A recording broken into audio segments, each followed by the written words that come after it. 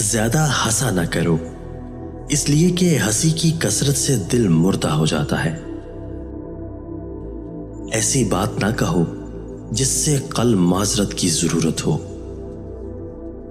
औंधा लेटना अल्लाह ताला को नापसंद है। अपने खाने में हलाल का अहतमाम करो। तुम्हारी दुआएँ कबूल होने लगेंगी।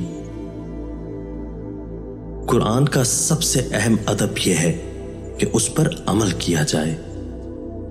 पाँव फिसल जाए तो फिसलने दो, मगर जबान ना फिसलने दो। खुश नसीब है वो जो अपने नसीब पर खुश हो।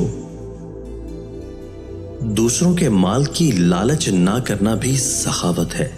इंसान का सबसे बड़ा दुश्मन उसका गुस्सा है। दुनियादार दुनिया के पीछे दौड़ रहे हैं।